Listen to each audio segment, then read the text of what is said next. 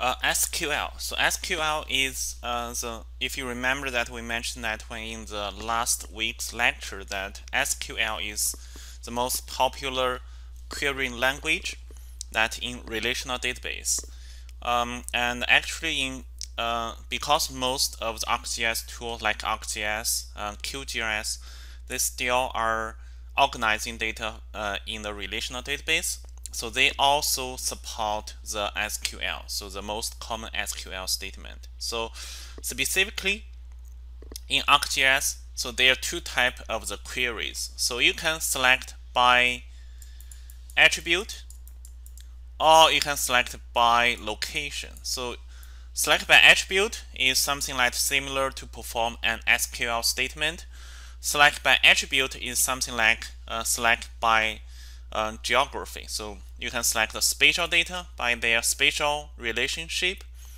Select by attribute are selecting data based on their non-relational data, uh, um, non-spatial relationship. Uh, so SQL is a standard language that can manipulate relational database.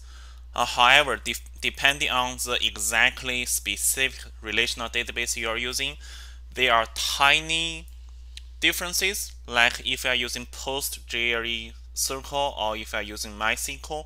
So there might be very fine, tiny differences. And if you're interested, uh, so you can check this online tutorial. So um, our textbook also have uh, has very detailed explanation of the most common SQL. So, and to be honest, I'm a bit I'm a little bit surprised that uh, they have so many they spend so many paragraphs talking about SQL. So uh, basically, SQL can query data by selecting records from tables or where specific criteria are met. We can also update records, delete records, insert records. Uh, we can also create tables, uh, create index uh, even database users, etc. So SQL is, is super, super pro, um, powerful. And if you want to learn more about SQL, so we may need to spend another week. So uh, in this class, I'm not going to go too deep into the SQL because that is not the focus of this class. Uh, so if you're interested, you can just uh, just uh, read the textbook. So they have very detailed explanations. Uh, also, if you're interested in learning more about the database, and I do have a class that is I340, so that we are talking more about uh, database, data mining, um, um, etc. And if you are interested in the data visualization, so I have I342, so that is talking about more about data visualizations. Okay, uh, so back to our domains back to geography. So uh, our textbook also listed uh, multiple queries that by geography. And again, uh, in ArcGIS, it is called select by location. Okay, select by location. So there are a lot of common queries by geography. Again, you don't need to remember all of them. Uh, I don't remember all of them, so you you don't need to do that as well. Um, and also, I think their names are, are already very intuitive. So just by looking at their names, you will know that what they're talking about. And let's just look at one as an example. So the intersect. So intersect is probably the the most frequently used uh, query. Uh, personally, I use intersect a lot. So intersect will allow you to select features in the target feature that have a common uh, spatial location with the source feature. So when we perform the queries by the geography, so we have our target and we have our source. Okay, uh, so based on the relationship, spatial relationship between the target and also source, so we can select the uh, the desired um, featured from the target layer. And also when we talk about query by geographies, and you have to be sure, you have to be careful about that what type of the features can be used as source and also what type of features can be used as target. So some queries that they only allow, for example, point as source and also polygon as a target.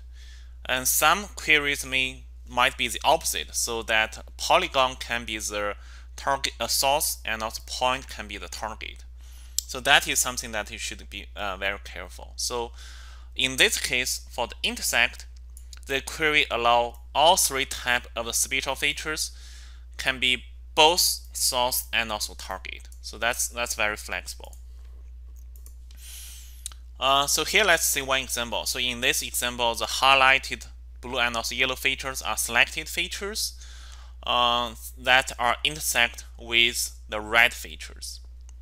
Okay, so the source in this case will be the red features and also the um, the selected features will be the highlighted. Okay. So let's say the first example. So where we are using intersect. In this first example that uh, we see that different type of the features that intersect with point. Okay.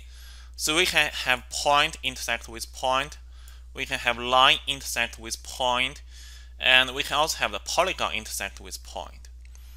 So in the first example that we can see that the selecting feature and also source feature are all points. Uh, so in this case, you can see uh, the points, the both points intersect with each other. So that means they share the common coordinates. They share the, the same x and y.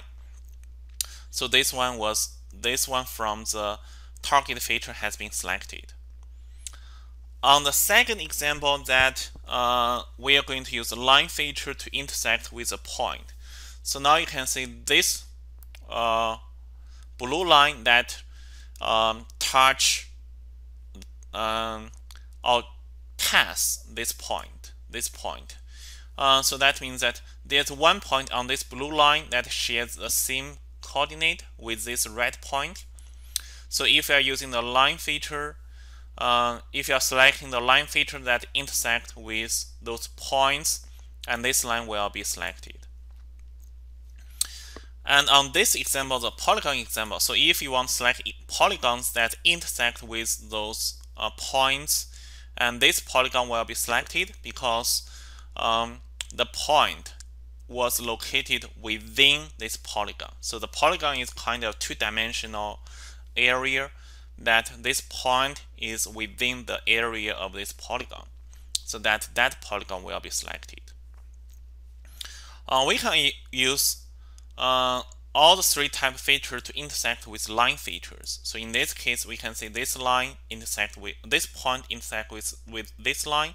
So this line, this point will be selected. We can also use line to intersect with line feature. So here, um, they share a common point in this case so that uh, this blue line will be selected if you are using the intersect.